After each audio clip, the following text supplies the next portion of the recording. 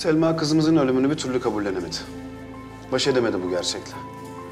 O da kendince bir hayal dünyasına sığındı işte. Yıldız'ın bir başka yerde yaşadığına inandırdı kendisini. Yıllarca yalvardım tedavi olması için ama beni dinlemedi. Sonunda ben de pes ettim. Yalnız bıraktım Selma'yı. Ayrıldım ondan. Şimdi nasıl? Doktorlar psikiyatri kliniğine yatırmamı söylediler. Ben de öyle yapacağım. Meral kızım sana bir şey söyleyeceğim. Selma sana zarar vermek istemedi. Ona kin duyma, tamam mı? Duymuyorum. Selma teyzeyi görebilir miyim? Tabii ki. Gel.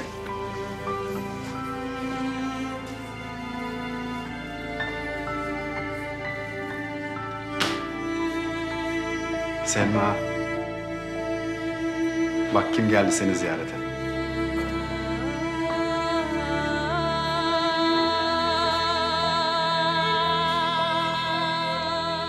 Çok geçmiş olsun. Bu çiçekleri sizin için parktan topladım.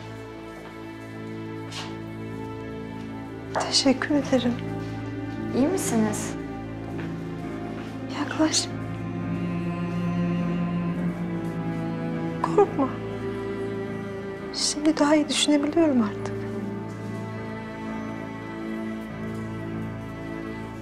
Senin yıldız olmadığını biliyorum.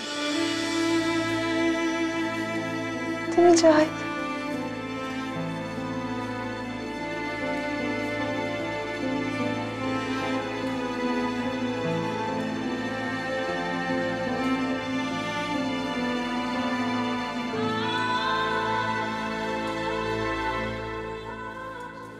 Sana yaşattığım kabus için çok özür dilerim. Önemli değil. Birkaç saatliğine kimsesiz olduğumu unutturdunuz bana.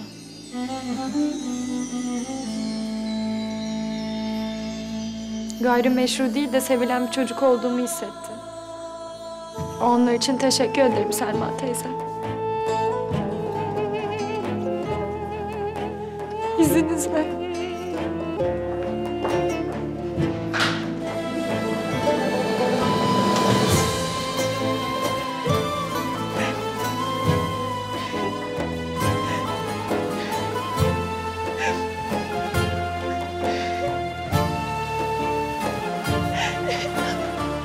gayrimeşru sen beni